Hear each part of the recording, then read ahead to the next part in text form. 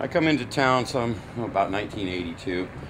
I'd gone to the university, studied for five years, and played on stages in the military and all around the country. And now I was walking down the street and I saw this guy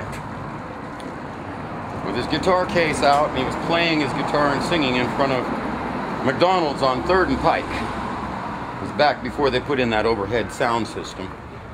He was just playing away, and he had a kind of a Robin Hood little cap on and a feather sticking out of it. And he was just a dancing up and down and playing his guitar and having all kinds of good time.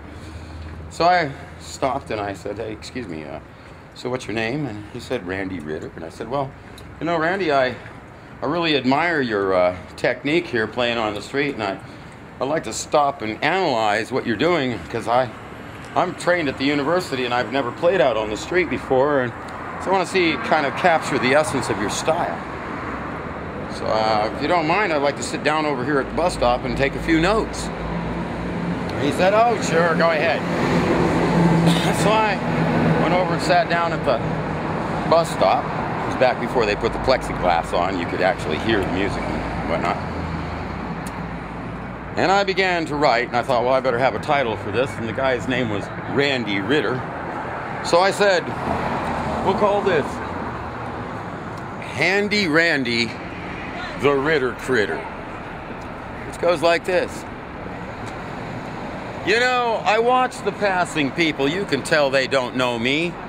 They won't know it if I blow it, and they'll think I play for free. So I'll just miss a note right here, or two, or even three, and I'll I'll paint a picture with these words for all to plainly see.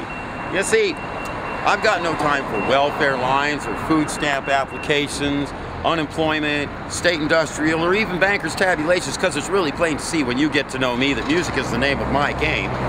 So if I can't get along on a smile and a song, then I've only got myself to blame.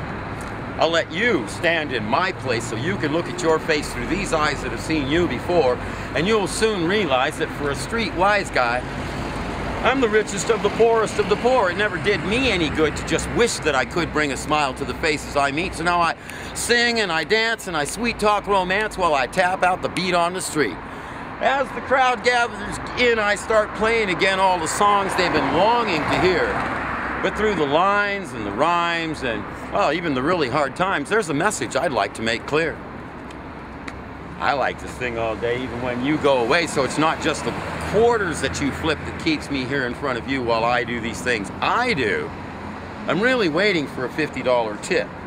You see, the cost of my debts and every other cigarette has risen high, and I might die before they're due. So please just pause right here a while and remember with a smile, it's true. I'm trying to sell these songs to you. Now, if I fell down dead, and in the papers you read that I was finally planted safely underground, you could hang your head and sigh, that poor man just had to die because there wasn't enough to go around. Handy Randy the Ritter Critter. Now 20 years later after writing that, Randy died of a heroin overdose in the bathrooms in the men's room down in the Pike Place Market where he worked his life. Ode to Randy Ritter.